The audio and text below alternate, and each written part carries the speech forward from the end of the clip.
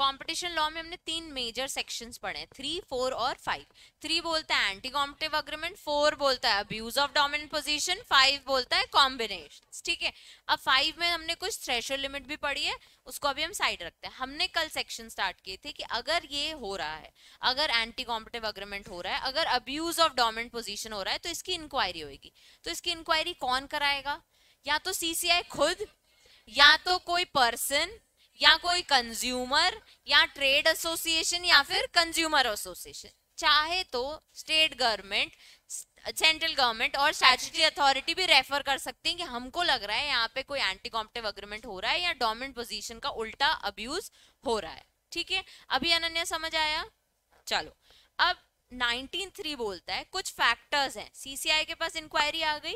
अब कुछ फैक्टर्स से वो चेक करेंगे कि ये agreement whether this agreement is having appreciable adverse effect और नॉट क्या इसका इफ़ेक्ट कंपटीशन मार्केट में रेलिवेंट मार्केट में खराब हो रहा है कि कुछ नहीं हो रहा है, इतना हम एक्सेप्ट कर सकते तो अभी तक जैसे तुम्हारे माइंड में क्वेश्चन आते थे मैम होता तो है मार्केट में। अब वो क्लियर हो गया होगा कि अगर अप्रिशिएबल होगा तो सीसीआई ये फैक्टर्स को कंसिडर करके पेनाल्टी लगा देगी। तो वो कौन कौन से फैक्टर्स हैं? क्या लोग मार्केट में नहीं आ पा रहे हैं?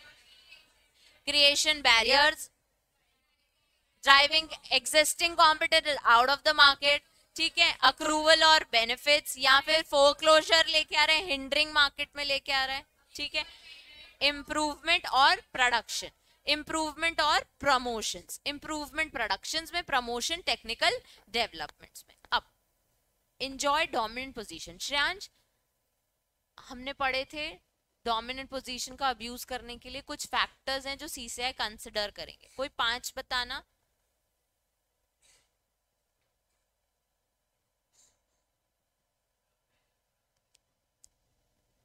ये अब्यूज ऑफ़ डोमिनेंट का नहीं है point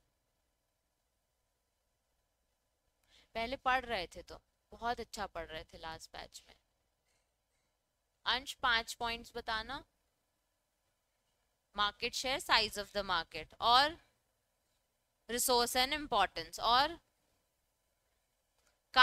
countervailing buying power of the company या जो भी है वो और सोशल ऑब्लिगेशन सोशल कॉस्ट और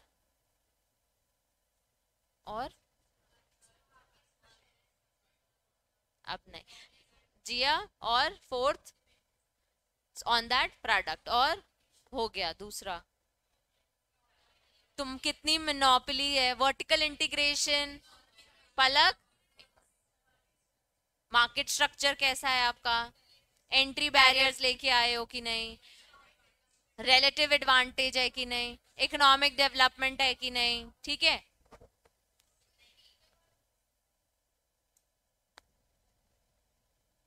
ये इकोनॉमिक पार है ना?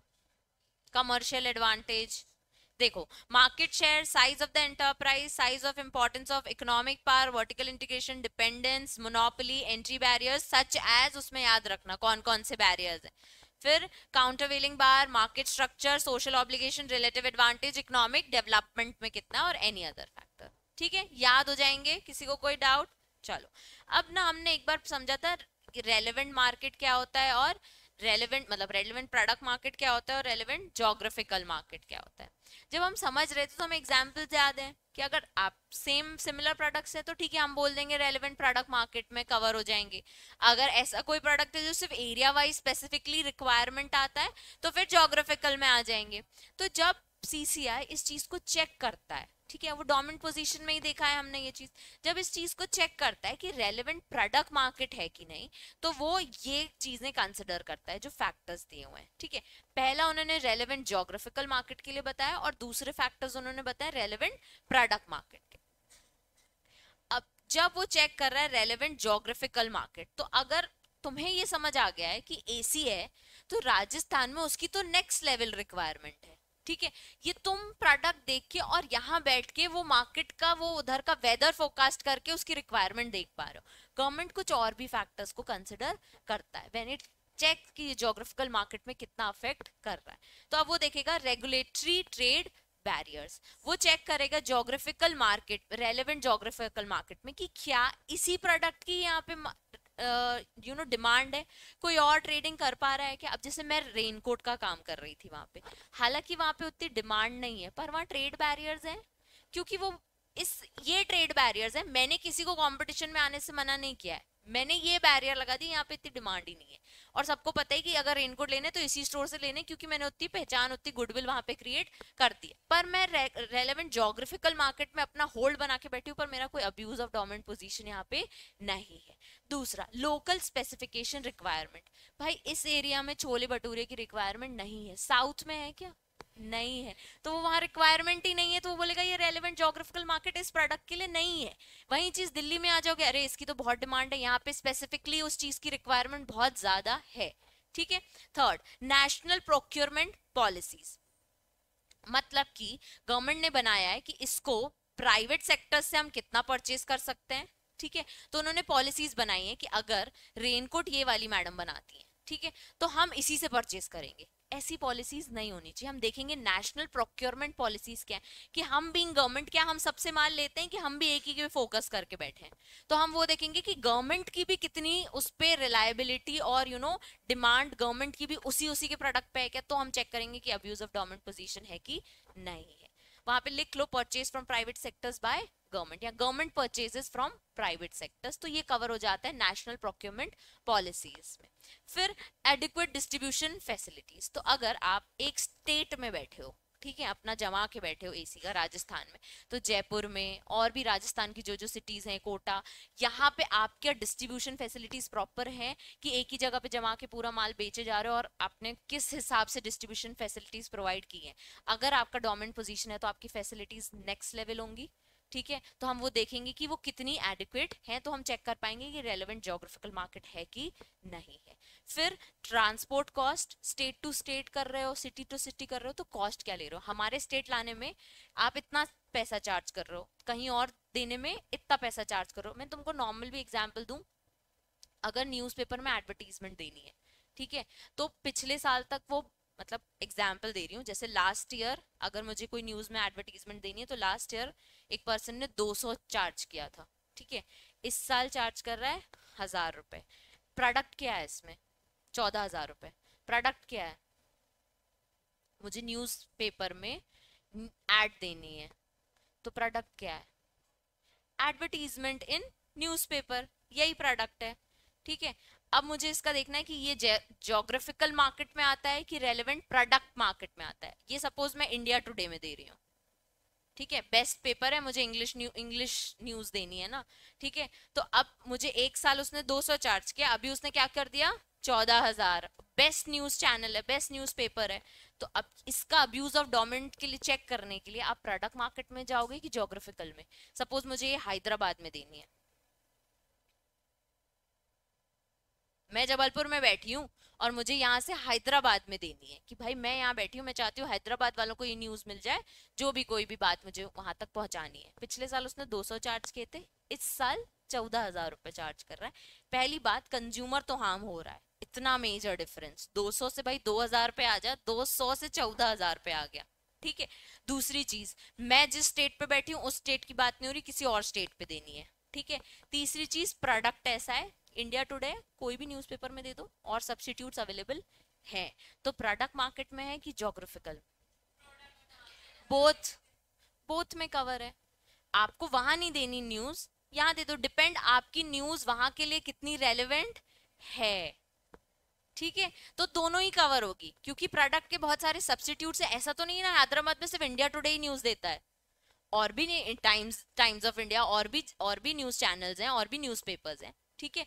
तो बोथ वेज कवर हो सकता है। तो जब हम बात कर रहे हैं कि वो कुछ फैक्टर्स को कंसिडर करता है तो प्राइस हो गई, ये कॉस्ट कितनी लग रही है तो ट्रांसपोर्टेशन कॉस्ट जो भी वो पैसा चाह अब इसमें तो मुझे कोई ट्रांसपोर्ट नहीं करना पड़ रहा है, पर जो भी वो पैसा चार्ज कर रहे हैं, इसमें कवर करने के लिए वो ये फैक्टर्स को कंसिडर करेंगे कि इसका अब्यूज ऑफ़ डोमिनेंट पोजीशन है कि नहीं है।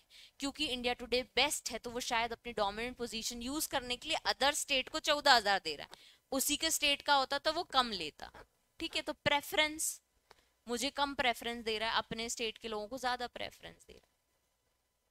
फिर आ जाते हैं कंज्यूमर प्रेफरेंस वही पॉइंट हो गया लैंग्वेज मुझे नहीं आती हैदराबाद की लैंग्वेज तेलंगाना बोलते हैं वहाँ पे, मुझे नहीं आ रही है तो फिर उसमें भी वो मुझे एक कहीं ना कहीं ये रेलिवेंट जोग्राफिकल मार्केट में वो कवर करेंगे, ठीक है? Need for secure regular supplies and rapid after sale services इसका मतलब समझते हो?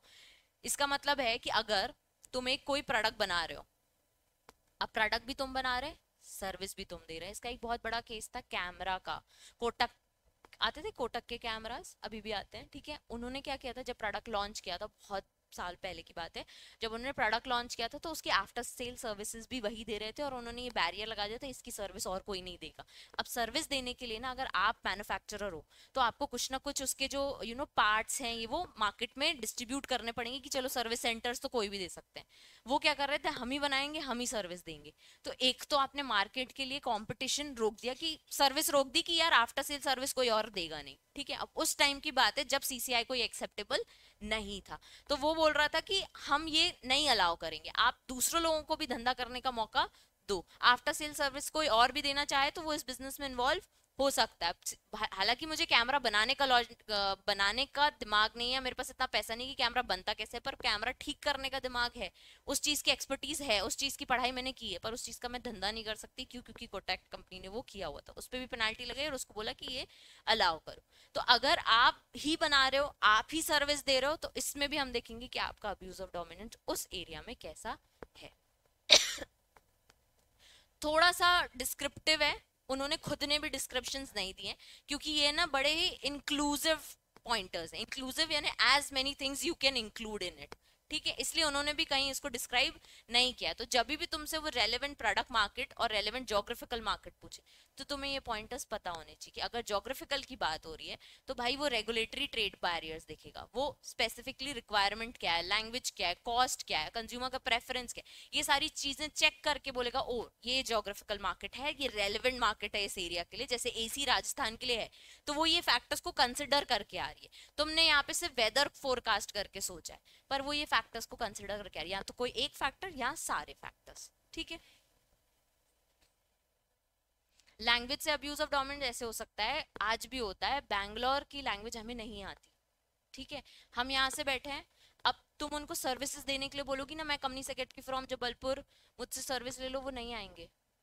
बोलेंगे, तुम हमारी भाषा नहीं समझ पा रही हो, हम तुम्हें धंधा नहीं देंगे। ठीक है? अब वहाँ बैठा जो सीएस है सपोज़ तुमने ये सीख ली लैंग्वेज बैंगलोर की तो यहाँ पे तुम क्या कर रही हो बैंगलोर का भी काम कर रही हो, हैदराबाद की लैंग्वेज भी सीख ली, दिल्ली जैसा भी पंजाबी पंजाबी बोल लोगी, सब सीख के तुमने अब्यूज ऑफ़ डोमेंट पोजीशन कर लिया कि सारे धंधे मेरे पास आएँगे इस मार्केट में, मेरी सिटी में कोई और बाहर के स्टेट का काम नहीं कर पा रहा क्योंकि मैं सारी लैंग्वेजेस मेरे पास सारे टाइप के स्टेट के लोग बैठे हैं जो इन, इनके लैंग्वेजेस में मराठी में सब में बात करके इनका धंधा कर सकते हैं। तो ये एक रेलिवेंट पॉइंट है जहाँ पे मैं चेक कर सकती हूँ कि क्या तुमने जोग्राफिकल मार्केट को अफेक्ट किया है कि नहीं? क्या तुम्हारा अप्रिशिएबल एडवर्स इफ़ेक्ट इससे हो रहा है कि नहीं। ठीक है this is one of the pointer this can be considered कि इससे आपने धंधे को कवर करने की कोशिश की है कि नहीं। ठीक है? हाँ तो मैं कहा बोल रही हूँ? लेकिन अगर आप उसको इतना मार्केट में कोई जानबूझ के कंज्यूमर को नहीं गला पकड़ के बोलता है, मुझसे ही धंधा करा दे, मुझसे ही से ही सर्विस लेनी पड़ेगी। आप इतना कंफर्ट देते हो कि वो आप ही पे आ जाता है। आप ऐसा प्रोडक्शन देते हो, आप ऐसी सर्विस देते हो कि वो आप ही पे ही ट्रस्ट करता है। उससे आपकी डोमिनेंट पोजीशन क्रिएट हो जाती है। अब जब वो क्रिएट हो गई है, तब आप क्या कर रहे हो? दूसरी दूसरी प्राइजेस कर रहे हो प्रोडक्शन कम कर रहे हो, उससे आप अपना अब्यूज ऑफ़ डोमेंट जब अब्यूज ऑफ़ डोमेंट पोजीशन की डेफिनेशन देखोगे, उसमें दो ही पॉइंट है कि आप इंडिपेंडेंटली इतना अच्छा काम कर रहे हो, नीचे कॉम्पिटेटिव फोर्सेस में क्या हो रहा है, आपको पता नहीं है। दूसरा, आप कॉम्पिटिटर्स को और कंज्यूमर्स दोनों को अफेक्ट कर रहे हो। अफेक्ट कैसे करोगे? उनसे हाई प्राइस लेके और कॉम्पिटिटर्स को एंटर ना होने देके। तो ये चीज़ें चेक करने के लिए हम जोग्राफिकल और प्रोडक्ट मार्केट को चेक करते हैं कि कितनी रेलिवेंसी है इसके, ये अब्यूज ऑफ़ डोमेंट पोजीशन को करने ठीक है? जब आ जाओगे प्रोडक्ट मार्केट अब ये और अच्छे से समझ आ जाएगा कि भाई अगर एक प्रोडक्ट है लेज है, उसके सब्सटीट्यूट कौन से हो गए? बालाजी और कुरकुरे लेस का सब्सिट्यूट नहीं होगा।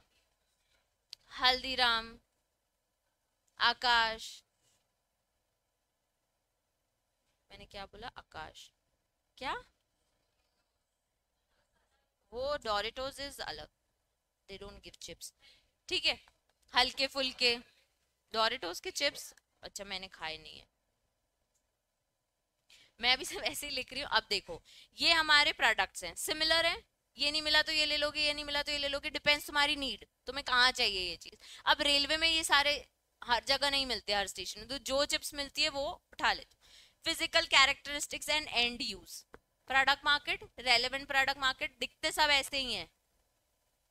ठीक है? एंड यूज़ भी वही देंगे। ठीक है? Price of the goods and services same होती है। ऑलमोस्ट सेम ही है। दस रुपए ही रहती है। ठीक है?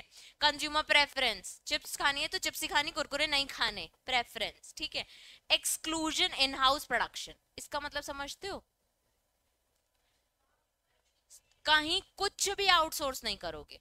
सब कुछ खुद से करोगे। कुछ भी आउटसोर्स नहीं करना तो हम देखेंगे ओ रेलेवेंट प्रोडक्ट मार्केट में सारा धंधा खुद डिस्ट्रीब्यूशन छोड़ो प्रोडक्शन में भी कहीं कुछ भी आउटसोर्स नहीं है। रॉ मटेरियल से लेकर एंड प्रोडक्ट सब खुद का। तो हम चेक करेंगे कि क्या पर्सन क्या होता है। हाँ आपका खेत है आलू का आप चिप्स भी बना रहे हो, आप पैकेजिंग भी कर रहे हो मार्केटिंग भी आप कर रहे हो डिस्ट्रीब्यूशन भी आप कर रहे हो, सब आपका है एक्सक्लूजन इन हाउस प्रोडक्शन सब कुछ इन हाउस हो रहा है। ठीक है? तो ये हम चेक करेंगे। दिस इज़ ऑल्सो फैक्टर कि अब्यूज ऑफ़ डोमिनेंट पोजीशन है तो कुछ आउटसोर्स हो रहा है? नहीं हो रहा। इतना अब्यूज है कि सारा पैसा आपके पास आ रहा है। तो आप प्राइस कम रखो ना। क्यों दस रुपए रख रहे हो फिर? ठीक है? इसमें बुराई नहीं है। कर सकते हो। इसमें कोई बुराई नहीं है। बहुत अच्छी बात है कि आप खुद कर रहे हो, पर अगर आप खुद से कर रहे हो तो फिर इसका अब्यूज मत करो। इससे कॉम्पिटर्स अब सिर्फ़ लेज ये काम करता। तो बाकी कॉम्पिटर्स एंटर हुए हैं ना, पहले तो लेज ही था ना, ये जितने हमने लिखे हैं सब बाद में आए हैं।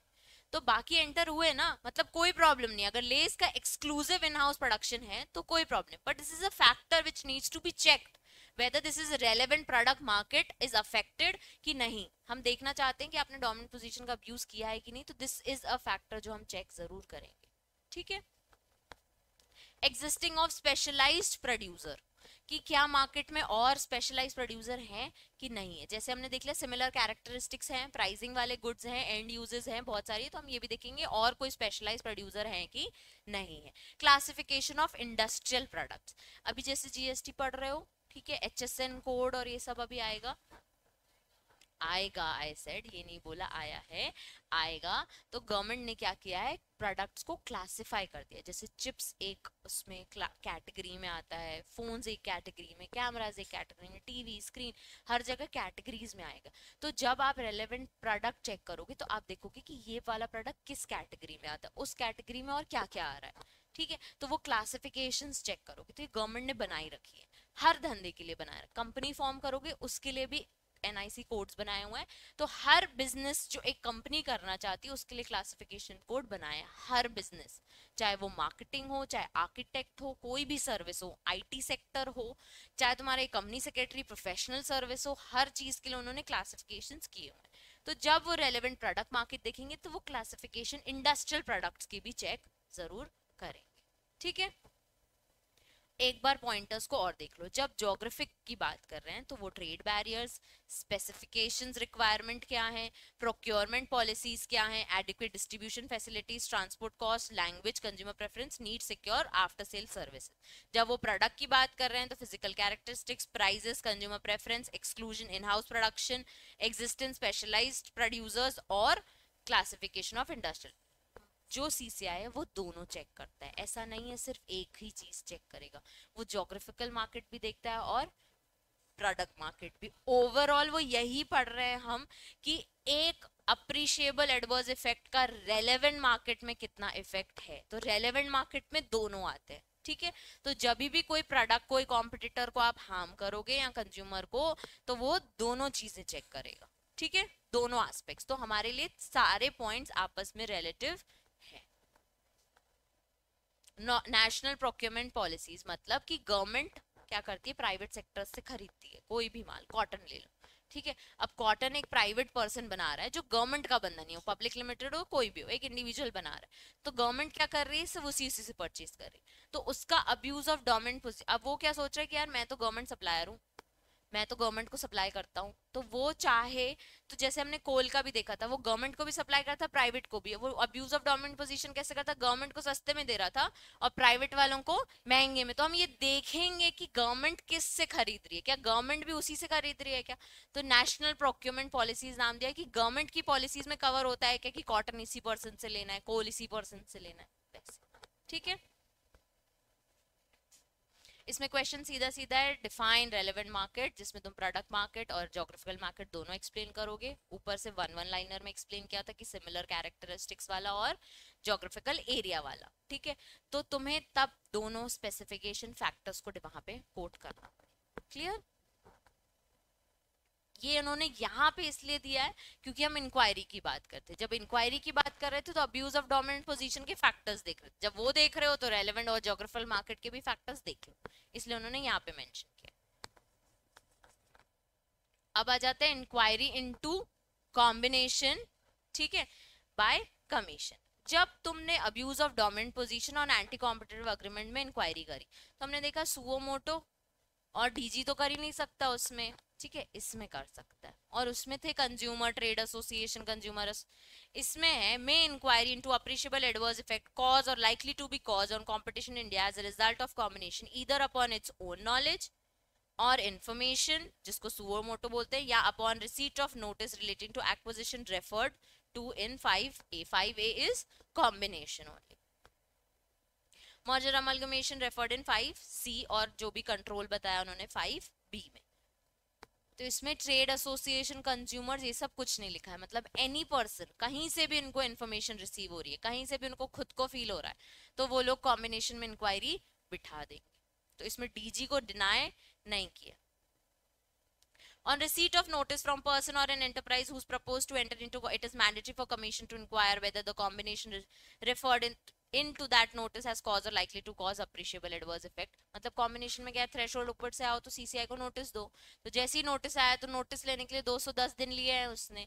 वो 210 दिन में क्या करेगा वो? इंक्वायरी कि भाई तुम्हारे कॉम्बिनेशन से हमारे कंपटीशन में या कंज्यूमर में अप्रिशिएबल एडवर्स इफ़ेक्ट हो रहा है कि नहीं हो रहा है। उसके लिए वो कुछ फॉलोइंग फैक्टर्स कंसिडर करेगा, जैसे ऊपर पड़े थे वैसे नीचे, देखो। Actual and potential level of competition through imports in the market ठीक है? तुम्हारे कॉम्बिनेशन बनने से इंपोर्ट्स इसलिए लिखा है क्योंकि हमने पढ़ा है इंटरनेशनली ग्रुप लेवल पे भी होता है, ठीक है? एंटरप्राइज लेवल और ग्रुप लेवल पे भी कॉम्बिनेशन और तो हम देखेंगे कि तुम्हारा लेवल क्या है कंपटीशन में एंटर करने का। तो जब हम अगर इसको सैमसंग और एप्पल से रिलेट करें तो लेवल तो सबसे हाई है। एक्सट्रीम लेवल पे, और वही हम वोडाफोन आइडिया से करें तो ठीक है मिनिमल है, कोई बात नहीं, बहुत सारे सिम ऑलरेडी चालू है। Extent barriers entry into the market तुम्हारे कंबाइन होने से क्या लोग और आएँगे कि मार्केट से चले जाएँगे?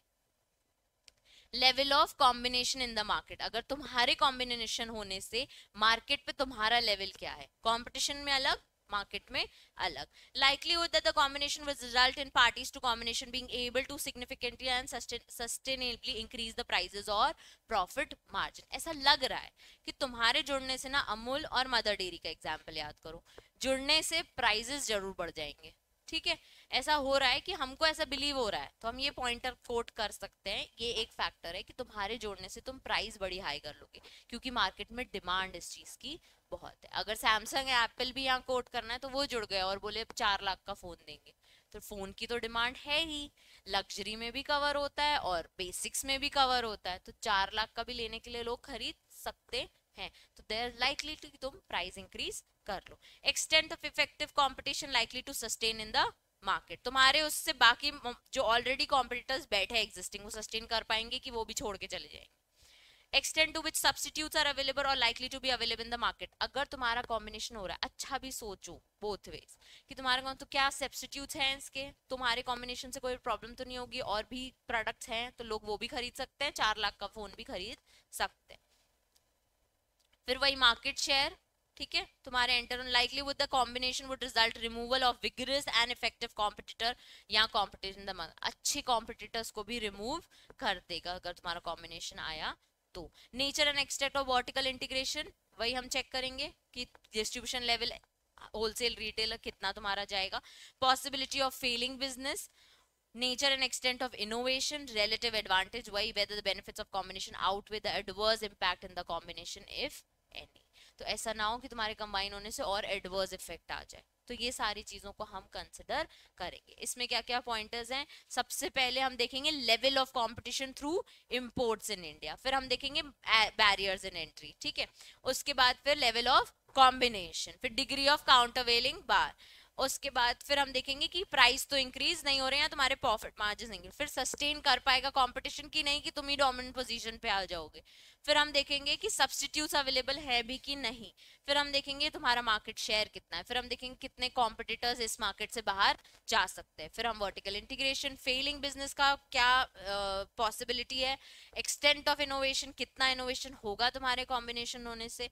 तुम्हें कोई और रिलेटिव एडवांटेज तो नहीं है इससे, और कोई एडवर्स इम्पैक्ट तो नहीं पड़ेगा ना।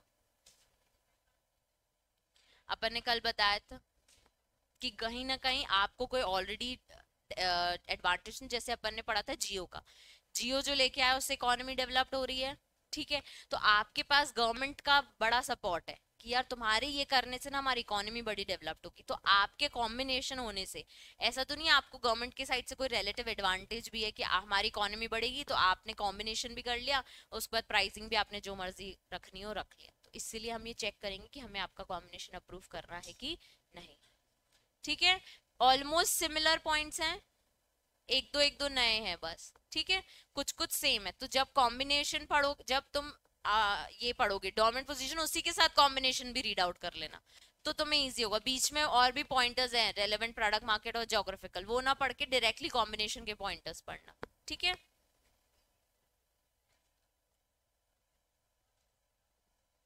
हाँ। सी कॉम्बिनेशन सेक्शन फाइव याद करो। थ्रेशोल्ड लिमिट के ऊपर होगा तो क्या करना है? क्या करना है? कॉम्बिनेशन क्या है? कॉम्बिनेशन क्या है? Merger amalgamation control acquisition of control या शेयर्स अगर ये हो रहा है और आप थ्रेशोल्ड लिमिट से ऊपर हो तो आपको सीसीआई से सीसीआई को नोटिस देना पड़ेगा, फिर वो अप्रूव करेगा। वो पॉइंटर अगर पढ़ के आओगे तो उसमें फॉर्म ऑफ़ नोटिस फिर बताया 210 दिन लेगा, आपके कितने दिन में नोटिस देना है? 30 दिन में 30 दिन ऑफ़ अग्रीमेंट हो गया, तब या फिर बोर्ड रेजोल्यूशन पास हो गया हो। कोई भी एक चीज़, ये याद नहीं है। 210 दिन में अगर जवाब नहीं तो, तो मान लेंगे कि कॉम्बिनेशन अप्रूव्ड है। चलो अब ना कुछ बेसिक बेसिक पॉइंटर्स बचे हैं ठीक है? अब है रेफरेंस बाय स्टैचुटरी अथॉरिटी अभी पढ़ा था? सीजी रेफर करेगा या स्टेट गवर्नमेंट एक ये पॉइंटर दिया है कि भाई क्या स्टैचुटरी अथॉरिटी भी रेफर कर सकता है? हाँ कर सकता है। स्टैचुटरी अथॉरिटी यानी? कोई भी रेगुलेटरी ठीक है? तो वो जब देगा तो फिर उसके बाद इंक्वायरी होगी, इसको एक बार रीड कर लेना। अब सेक्शन 19 अभी सेक्शन 3 19 3 19 7 ये पढ़ रहे थे। अब बोल रहा है procedure for inquiry on complaints under section 19 इसमें ना कहानी लिखी है, ठीक है? कंप्लेन कैसे होती है? कंप्लेन आई, ठीक है? सुन लो मेरी, पढ़ने की ज़रूरत नहीं से डीजी को बोलेगा जाओ बेटे इन्वेस्टिगेशन करके आओ। ठीक है डीजी क्या करेगा? इंक्वायरी करने चला जाएगा इन्वेस्टिगेशन करने। डीजी फटाफट रिपोर्ट लेके आएगा। सर देखिए सीसीआई को बोलेगा देखिए रिपोर्ट है। यहाँ पे एंटी कॉम्पिटिव अग्रीमेंट हो रहा है यहाँ पे अब्यूज ऑफ़ डोमिनेंट पोजीशन हो रही है यहाँ पे यहाँ पे कॉम्बिनेशन गड़बड़ है। हमको नहीं मन, समझ आ रहा ये काम नहीं करवाओ आप। ठीक है तो क्या करेगा डीजी डीजी पे डीजी की जो रिपोर्ट है, वो सीसीआई पे बाइंडिंग नहीं है कि उसे एक्सेप्ट करनी ही है, पहली बात। तुम सिर्फ़ असिस्ट करने के लिए, तुम जो बोलोगे वो हम सुने, ऐसा ज़रूरी नहीं है। तो डीजी को इतनी अथॉरिटी हर जगह पे नहीं दी हुई है, ठीक है? उसके बाद, अगर तुम्हारी यही चीज़ रेफरेंस आती है, कहाँ से? सीजी से स्टेट गवर्नमेंट से, या फिर तो तुम्हें उनको फॉरवर्ड करनी पड़ेगी कॉपी ये मैंने तुम लोगों को कल बताया था, ठीक है? उसके बाद फिर opportunity O O B H यानी अपॉर्चुनिटी ऑफ़ बींग हर्ट देनी पड़ेगी जिधर से जिसके अगेंस्ट रिपोर्ट आई है। ये तो हमें हर लॉ में पता है अपॉर्चुनिटी ऑफ़ बींग हर्ट का मतलब सब समझते हो, उसको एक बार अपना अगर फिर भी पॉइंट ऑफ़ व्यू रखने के बाद हमको फिर भी डाउट होता है कि यार ये शायद झूठ बोल रहा है या इसकी बातों में उतनी सच्चाई नहीं है तो हम फर्दर इंक्वायरी करेंगे। फर्दर इंक्वायरी करेंगे फर्दर रिपोर्ट आएगी। फिर फाइनल हो जाएगा, फिर किसी के पास ज़्यादा जवाब देने के लिए नहीं जाएगी। अब ये हमने कहानी पढ़ ली तो मैम इसको लिखे कैसे? अब पॉइंटर बनाओ। इसमें तुम चाहो तो अपने मन से भी लिख सकते हो, पर वन रीड ज़रूरी है, ठीक है? देखो, पहले लिखा है prima facie on receipt of an information from any person, consumer, their association, trade association or reference from CG, state government, statute 30 or its known knowledge or information under section 19 shall direct DG to cause an investigation. तो यहाँ से जो है ये तो ma'am हमको याद हो गया है ऊपर आपने बताया था इंक्वायरी का हमको पॉइंट याद रखना है टू कॉज एन इन्वेस्टिगेशन ये नया पॉइंट उन्होंने बताया कि भाई जाओ इन्वेस्टिगेशन करो into the matter DG shall investigate into the matter submit a report it findings within the period as may be specified by the commission तो अब वो जितना टाइम दे, भाई तू छह महीने ले, भाई तू एक महीना ले, चाहे दो दिन ले। मेरे को रिपोर्ट चाहिए। It's have ever not binding on the commission to accept the report on DG ये भी इंपॉर्टेंट पॉइंट है कि भाई ज़रूरी नहीं है, आप जो लिख के आए उसे हम माने ही माने। upon a receipt of report from DG, the commission shall forward a copy to the parties, central government, state government statutory authority सबको तुम्हें कॉपी देनी पड़ेगी भाई आपने ये इन्फॉर्मेशन दी थी ये रिपोर्ट हमारे पास आई है as the case may be if the DG in relation to the matter recommends that there no contravention of the the commission shall give an opportunity of being to the informant and after hearing if the commission agrees with the recommendation of DG it shall dismiss the information अब informant यानी जिसने information दी थी। तो अगर no contravention है तो हम उसको बुलाएँगे, भाई, तू इन्फॉर्मेशन दे रहा था, आखिरी बता दे, क्योंकि रिपोर्ट में तो नहीं आया, उन्होंने कोई भी सेक्शन का कॉन्ट्रावेंशन नहीं किया है। तो उसको अपॉर्चुनिटी ऑफ़ बींग हर्ट दिया। उसके बाद अगर उसने कुछ ऐसी बात बोली जो एक्सेप्टेबल है तो फिर हम उस चीज़ को आगे फर्दर इंक्वायरी में ले जाएँगे और नहीं तो डिसमिस कर देंगे उसके बाद। ठीक है? फिर फर्दर इंक्वायरी हो गई called for shall direct to proceed further DG को बोल दिया। DG relates the matter the commission by central government state government statutory and the report contains recommendation that there is no contravention तो फिर same cheese invite the comments of CG अब वो खुद तो आएँगे नहीं। तो उनके कमेंट्स हम इनवाइट करते हैं कि सर रिपोर्ट में आया है, कोई कॉन्ट्रवेंशन नहीं, आप आगे बता दो, आपके पास कुछ फाइंडिंग्स हैं या कुछ प्रूफ्स हैं, आपने कुछ ऐसा क्या नोटिस किया तो हम उस पर आगे फर्दर इंक्वायरी करेंगे। ठीक है? फिर return the reference the, if the commission feels that prima facie shall proceed with a reference. फिर वो उन्होंने और जो बातें बोली है या रेफरेंस और आगे दिया है तो फिर हम उससे आगे फर्दर इंक्वायरी में जाएँगे। तो ये वाला पॉइंट पार्टीज़ के लिए हो गया। ये वाला point CG central government state government और स्टैट्यूटरी अथॉरिटी के लिए उसके बाद commission on receipt of recommendation of DG that there is a contravention अभी तक तो नो कॉन्ट्रवेंशन आ रहा था तो अपॉर्चुनिटी ऑफ़ हर्ड इन्फॉर्मेंट और इन लोगों को देते अब अगर कॉन्ट्रवेंशन है तो फर्दर इंक्वायरी होगी shall in enter into such in contravention in the provision of the फिर जो भी आपकी फाइनल रिपोर्टों की जो भी कॉन्ट्रवेंशन की है वो फिर इन्फॉर्मेशन प्रोवाइडर को दे दो सीजी को दे दो स्टेट गवर्नमेंट को दे दो statutory and the comments and opportunity of being heard is to be receive to given the parties that warranted by the principle of natural justice अब हम यहाँ पे पार्टीज़ को भी मतलब जिनके अगेंस्ट हम बात करें, उनको भी एक अपॉर्चुनिटी ऑफ़ बीइंग हर्ड दे देंगे। ठीक है? इजी है? इजी लैंग्वेज में ही लिखा है और इंपॉर्टेंट भी है। क्वेश्चन आता है procedure for inquiry on complaints under section 19 तो याद रखना डीजी को इन्वेस्टिगेशन करने को बोला डीजी ने इन्वेस्टिगेशन करके क्या लाके दी? फाइंडिंग्स लाके दी। किसमें लाके दी? रिपोर्ट में लाके दी। रिपोर्ट फिर कमीशन ने क्या की? एक्सेप्ट करनी है, करी, नहीं करनी है, नहीं करी। उसके बाद जिन लोगों ने इन्फॉर्मेशन दी थी party CG SG statutory authority उनको फॉरवर्ड करी कॉपी उसके बाद अगर कोई कॉन्ट्रवेंशन नहीं है तो जो इन्फॉर्मेंट है, उनको अपॉर्चुनिटी ऑफ़ बीइंग हर्ड दे दी। और उसके बाद अगर फिर भी उन्होंने कोई कमेंट्स दिए हैं, या आगे रेफरेंस दिए हैं, या फिर आगे कोई और बात बताई है तो उसके बाद फर्दर इंक्वायरी बिठाई। फर्दर इंक्वायरी बिठाने के बाद हमको पता चला कॉन्ट्रवेंशन है। ठीक है सपोज़ कॉन्ट्रवेंशन है। कॉन्ट्रवेंशन है, मिला तो हमने क्या बोला उसको? कि दूसरे पर्सन को बोला कि भाई, ये देखो कॉन्ट्रवेंशन है रिपोर्ट सबको फॉरवर्ड की और जो भी हमने एक्शन लिया, सबको बता दिया और उस पर्सन को भी एक अपॉर्चुनिटी ऑफ़ बींग हर्ड दे दिया। ठीक है? दो केसेस दिए इसके। इंपॉर्टेंट अब ये सारे जो पीछे पीछे के पॉइंटर्स हैं, अभी शुरू के तुमको याद हो गए होंगे। डेफिनेशन पर्पस ये, वो। अब ये पीछे पीछे के पॉइंटर्स ना और इम्पोर्टेंट है। क्वेश्चंस कुछ भी पूछ सकते हैं वो। Order by commission after inquiry into agreements और अब्यूज ऑफ़ डोमिनेंट पोजीशन अभी तक था कंप्लेन तुमको ये हेड याद होने चाहिए बच्चे। डायरेक्ट क्वेश्चन आएँगे ये हेड से। ठीक है? अब वो बोल रहा है order by commission after inquiry into agreements और अब्यूज ऑफ़ डोमिनेंट पोजीशन अगर हमको पता चलता है कि अग्रीमेंट खराब है या अब्यूज ऑफ़ डोमिनेंट पोजीशन है तो वो क्या ऑर्डर करेगा? खुद सोचो, क्या बोलेगा? बंद कर और सीज कर देगा तो लिखा है। तुम्हारे हिसाब से और क्या बोलेगा? पेनाल्टी लगाएगी, पैसे दो, ठीक है? वही चीज़ है। सबसे पहले cease and desist order cease and desist order यानी तुरंत के तुरंत डिसकंटिन्यू करो इस चीज़ को। सबसे पहली चीज़, अगर मॉड्यूल है तो मार्क कर लो। Shall be discontinued under such agreement which is contravention of under section three मतलब हमने इसको क्लियरली बोल दिया है सीज़न डेसिस्ट ऑर्डर दूसरा तुमको पता है पेनाल्टी पेनाल्टी लगा देगा नॉट एक्सीडिंग मतलब मैक्सिमम दस percent of the average turnover of last preceding financial year अब हाँ जी हाँ प्रीसीडिंग थ्री इयर्स उसके बाद penalty up to three times of the profit if for each year and continues of such agreement whichever is higher अगर आपका agreement है prohibition of under three shall be entered into any cartel ठीक है, अगर ये cartel में आए हो आप तो penalty up to three times of the profit for each year continues of such agreement whichever is higher Adarsh cartel क्या होते हैं? आदर्श है नहीं पढ़ा क्या है हमने नहीं। कुछ तो था यार। और? पहला वर्ड क्या है? कार्टल से सबसे पहले क्या ध्यान आता है? सबसे पहला word very good association of person नहीं है उसमें। वो बताएगा ना। जब इन लोगों से पूछो ना तो नहीं बनेगा। जैसे किसी से पूछो ना सबको आंसर याद आ जाएगा।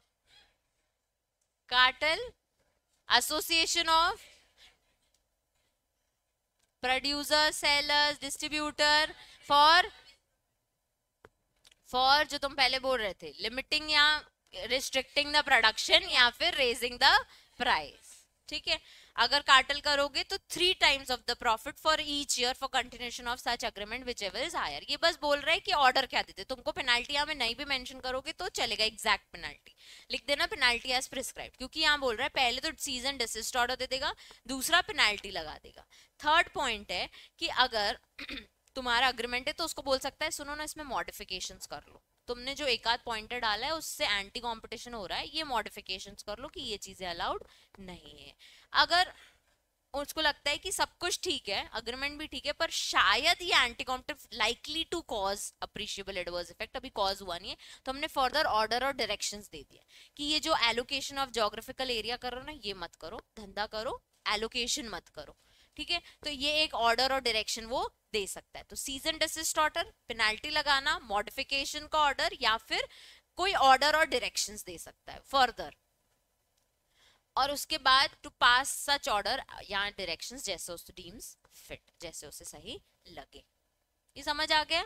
तो एक हमने पढ़ा ऑर्डर्स अगेंस्ट कंप्लेन्स मतलब प्रोसीजर ऑफ़ अ कंप्लेन कैसे काम करता है? उसके बाद क्या ऑर्डर देता है? अगर उसको लगता है कि कोई एंटी कॉम्पिटिव अग्रीमेंट हो रहा है तो। अब division of enterprise enjoying dominant position अब तुम क्या कर रहे हो? डोमिनेंस पोजीशन पे आ गए हो, ठीक है? हमको लग रहा है कि ठीक है, तुम अब्यूज अभी तो नहीं करोगे, पर शायद तुम आगे कर लो। तो गवर्नमेंट ना इनको ऑर्डर दे देती है कि तुम या तो पार्ट्स में डिवाइड हो जाओ, तुम अपने शेयर्स किसी और को दे दो कंट्रोल किसी और को दे दो, ऐसे टाइप के कुछ ऑर्डर दे देती है ठीक है? ये भी एक इंपॉर्टेंट क्वेश्चन है, जब वो पूछ सकते हैं कि division of enterprise enjoying dominant position तुम एंजॉय कर रहे हो डोमिनेंट पोजीशन फॉलोइंग फैक्टर्स के ऑर्डर्स को ध्यान में रखो। वो बोल सकता है ट्रांसफ़र और वेस्टिंग ऑफ़ प्रॉपर्टी राइट्स या लाइबिलिटीज या ऑब्लिगेशन वो बोल देगा, अपनी कोई प्रॉपर्टी ना किसी और के नाम पे कर दो। ये वाले राइट्स ना इधर ट्रांसफ़र कर दो। ठीक है, अपनी ही एक सब्सिडरी बना लो। सब कुछ तुम अकेले मत करो। ठीक है, या तो कोई लाइबिलिटीज ट्रांसफ़र करा दो या कोई ऑब्लिगेशन तो कोई भी चार चीज़ें या सारी चार चीज़ें किसी न किसी को ट्रांसफ़र कराने को वो बोल सकता है। एडजस्टमेंट्स ऑफ़ कॉन्ट्रैक्ट इधर पर discharge reduction of any liability और ऑब्लिगेशन और अदरवाइज़ क्या करेगा? तुम्हारे कॉन्ट्रैक्ट्स में चेंजेस करा देगा, जो तुम्हारे लोगों के डीलर्स के साथ वेंडर्स के साथ हो रहा है। क्रिएशन अलॉटमेंट सरेंडर और cancellation of any share stocks और सिक्योरिटीज बोल देगा आईपीओ लेके आओ। सीसीआई बोल देगा, या तो तुम ये अपने जो ऑलरेडी मार्केट में शेयर है, उनको रिड्यूस करो और अलॉटमेंट करो या फिर शेयर से अपने कम करो, ठीक है? The formation of winding of of enterprise और अमेंडमेंट इन एम और आर्टिकल ऑफ़ एसोसिएशन एंड और other instruments regulating the business of an enterprise या तो अपने एम ओ में चेंजेस लेके आओ या अपना धंधा वाइंड अप कर दो, ठीक है? The extent to which any circumstance in which provisions of the order affecting an enterprise may altered by the enterprise and registration thereof. जितनी गड़बड़ लेके आ रहे हो, उतने alterations यहाँ तो हम करा सकते हैं। और any other matter as may be deems fit अब याद कैसे करना है? पहले याद रखो ट्रांसफ़र और वेस्टिंग ऑफ़ प्रॉपर्टीज़ पहला प्रॉपर्टी की बात हो रही है। दूसरी बात हो रही है कॉन्ट्रैक्ट की। कॉन्ट्रैक्ट में वो चेंजेस लेके आएँगे। तीसरी बात हो रही है शेयर्स की। क्रिएशन अलॉटमेंट या रिडक्शन चौथी बात हो रही है वाइंडिंग अप की। कि तुम्हारा धंधा वो बंद करा देंगे या जिस भी एक्सटेंट तक प्रॉब्लम जा रही है फिफ्थ पॉइंट में, जिस भी एक्सटेंट तक प्रॉब्लम जा रही है, उस चीज़ को रिड्यूस करा देंगे। और लास्ट जो उनके मन में अच्छा लगे उनको।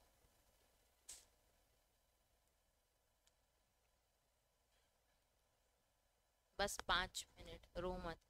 अब orders on commission on certain combination order order ही तो हैं सारे। क्या ऑर्डर दे रहा है? कभी बोल रहा है अग्रीमेंट बंद करो सीज़न डिसिस्ट करो। कभी बोल रहा है डिवीज़न करो। अब बोल रहा है कॉम्बिनेशन के अगेंस्ट ऑर्डर ले लो।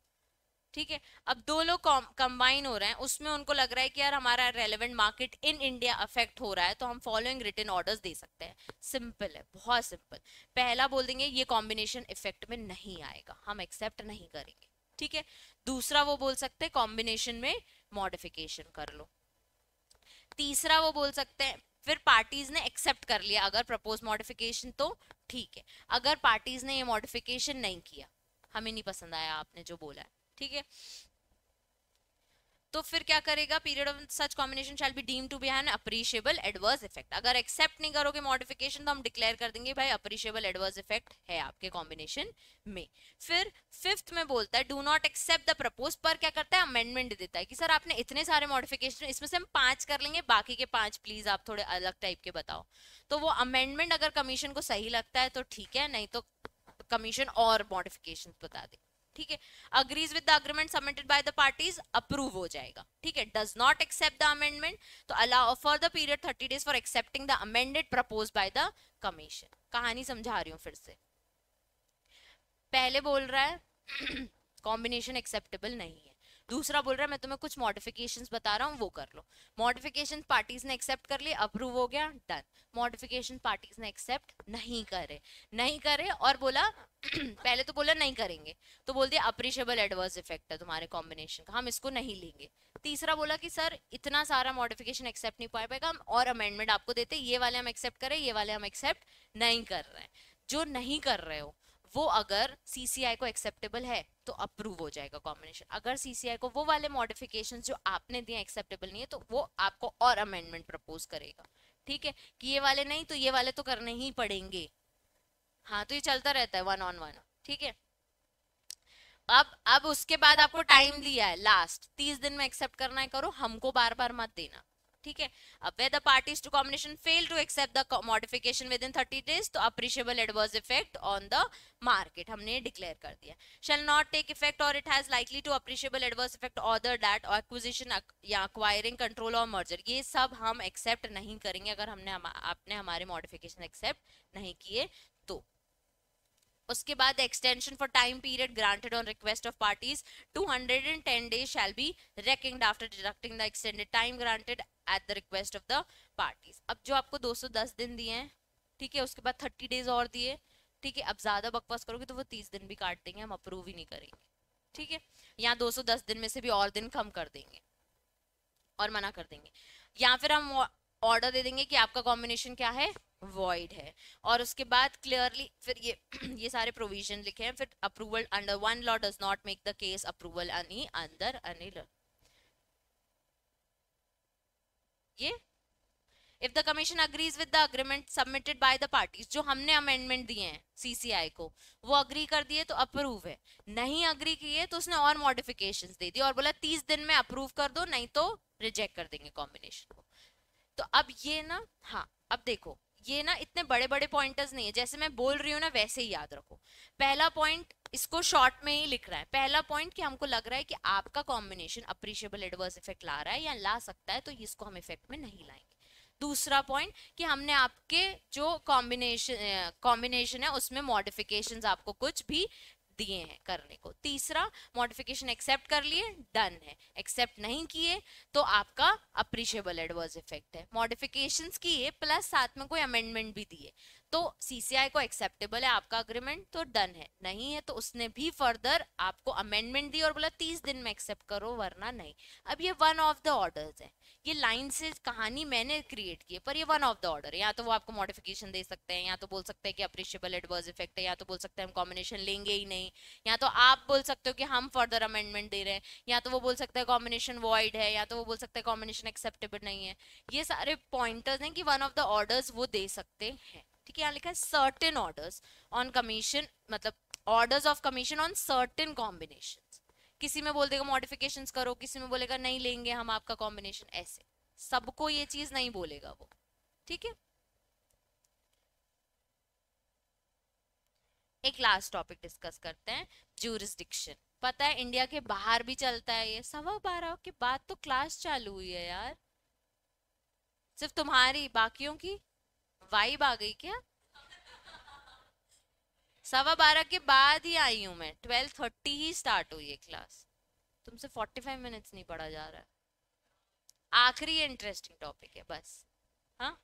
वेदर ऐसा है। अंदर तो गर्म लगता है यार तुम्हारा ये classroom act taking place outside India but having effect on competition India हमको पता है सैमसंग और एप्पल बाहर अगर मर्ज होंगे तो हमको प्रॉब्लम होगी। ठीक है बस वही है कि जुरिस्डिक्शन कहाँ कहाँ कंपटीशन एक्ट का कवर होता है तो बना इंडिया में एप्लीकेबल इंडिया में लेकिन हमारा मार्केट यहाँ पे भी अफेक्ट करोगे तो आप जहाँ भी दुनिया में बैठे हो वहाँ हम अपना सीसीआई आप पे अप्लाई करेंगे देखो लिखा है extent of jurisdiction of CCI to inquire and pass order in accordance with the provision of this act into agreement, dominant position or combination. Main three sections. Which is likely to have appreciable adverse effect on competition in relevant market, notwithstanding that ये उल्टा लिखा है। ठीक है? इसका मतलब उल्टा होता है। जैसे कि any agreement entered into section three entered outside India हम ये नहीं मानेंगे कि तुमने बाहर एंटर किया था। हमारा मार्केट अफेक्ट किया ना तो हम तुम पे ऑर्डर पास कर सकते हैं, ये सीसीआई को जुरिस्डिक्शन हमने दे दिया तो पहला हो गया agreement any party to such agreement outside India उस पार्टी के अगेंस्ट भी हम ऑर्डर दे सकते हैं। Any enterprise abusing dominant position in outside India हमारा मार्केट अफेक्ट किया तो हम तुमको पकड़ेंगे। Combination take in place outside India any party to combination outside India any other matter और प्रैक्टिस arising आउटसाइड इंडिया ठीक है? इसको याद करो अग्रीमेंट अग्रीमेंट की पार्टी एंटरप्राइज कॉम्बिनेशन कॉम्बिनेशन की पार्टी इंपॉर्टेंट क्वेश्चन मार्क कर लो। डायरेक्ट क्वेश्चन आ सकता है इसका सीधा सीधा इतना ही लिखना पर ये पैराग्राफ सेक्शन 32 के बाद का लिखना मत भूलना, ऐसा ना बस ये लिख के आ गए। ठीक है?